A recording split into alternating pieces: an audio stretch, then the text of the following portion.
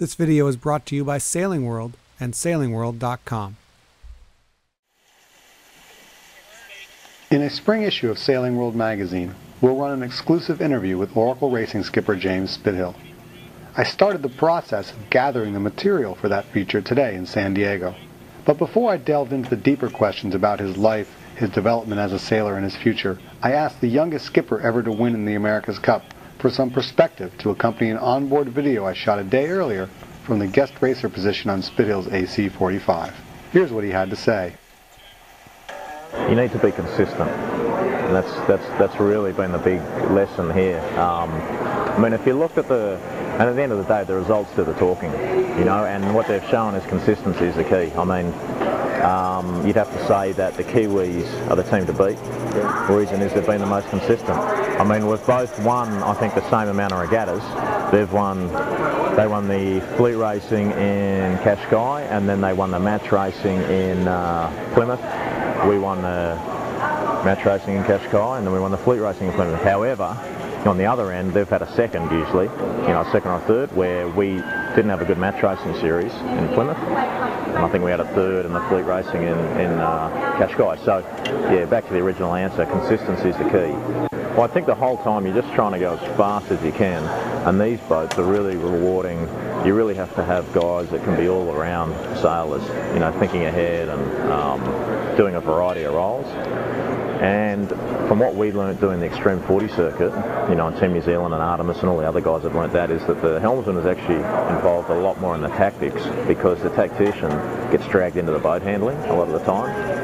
So it's difficult for him to, at times to either one see because in the light area needs to be further forwards just to keep the boat going because the multi-hulls as soon as you you know if you just if you're dragging the you know the sterns if the bows out of the water they're just slow so you need to get everyone as far forward as possible so there's a little compromise there but at the end of the day we're doing everything we can to be fast around the race course you know and Team New Zealand's the same so it has gone away a little bit from having the luxury of having a sort of dedicated tactician.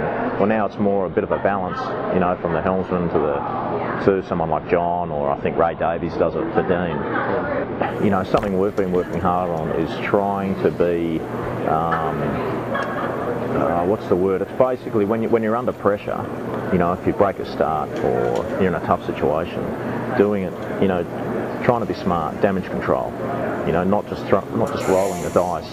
You know, one banging the corner if you lose a start and trying to get it. But trying to just pick away, smart. You know, really sort of trying to limit that damage control, and then waiting for an opportunity to present itself, and not trying to make things happen. It may not come, but I think if you if you know, if you just try and wing it out to one side, you know, straight after the start, well, that could end it. Where if you just chip away, chip away, there probably will be a couple of opportunities out there. And if there isn't, well, maybe in the last leg, that's the time to wing it out there. Um, and the guys who've done that, are probably Team New Zealand's done that pretty well. Um, I thought we did a pretty good job of that this regatta. I thought uh, Chris Draper did a really good job in Plymouth for that. Pretty much never won a start. You know, in all of the match racing was behind in every start, but just was cool. You know, just stayed behind and waited for an opportunity won a lot of races like that. It is, it is a lot like a hole shot in motocross. It's uh, well, uh, the first thing is knowing the fastest angle of the boat. So, you know, between that start line, there's a certain spot on the start line where on the polar, you're going to be at your fastest, you know, performance angle. From it varies on wind speed, yeah, and, and the position of where the pin is. Yeah. Then the next thing is, is how's the line set? You know, is the pin physically closer? There'll be an area on the line that is just physically a shorter distance to the reach mark. But you need to balance both of those two up. And then obviously the third thing is all the other boats around you. You know, where are they and, and how do you get around that? So it makes it interesting and it makes it, um, what we found earlier on when we did the conventional start was that we come off the line, everyone behind slow, trying to pinch each other off, and it was just boring, you know, and there wasn't a whole lot to it. And where this way, everyone has a shot at it. Um, you still got to do all the good things right, but it's just full action from, from the get-go.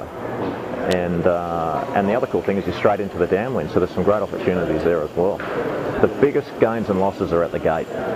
There's no question. And because the boats, you get, you really pay a huge penalty for missing a lay line. A lot of times you'll see guys come fully wicked up in there, go around the mark and they're gone. You'll see other guys come in, you know, a little underdone, and there'll be two holes in the water and it's just a huge penalty. So there's some big gains to be made there.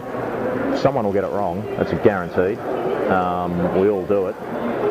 So there's just a lot of opportunities out there, and it makes the decisions a lot harder. You know, compared to a monohull, like you usually, if you miss the lane a little bit, no problem. You know, like pull the brace back or just soak it in a little bit more, and you'll be fine. In this boat, you just if that hull's not out, it's a massive performance loss. So